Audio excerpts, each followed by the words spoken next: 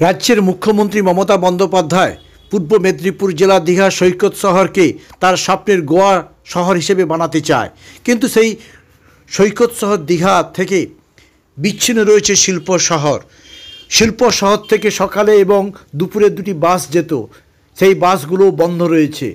এলাকার মানুষের দাবি, অবিলম্বে দীঘা সৈকত শহরের সঙ্গে শিল্প শহর হলদিয়ার মেলবন্ধন ঘটানোর জন্য অতিরিক্ত বাস চালানোর দাবি আবেদন করলেন হলদিয়ার ভূমিপুত্র প্রদীপ বিজলি।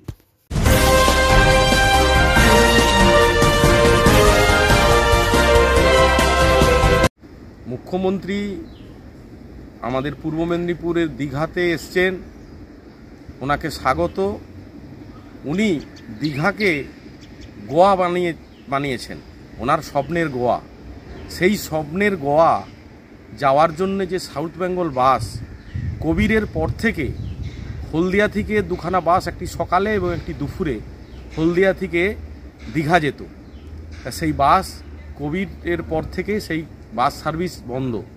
তাহলে এই হলদিয়া শিল্পনগরীর কোনো পরিবার বা কোনো মানুষ দীঘা যাওয়ার আশা করবে না রাজ্য সরকারের কাছে?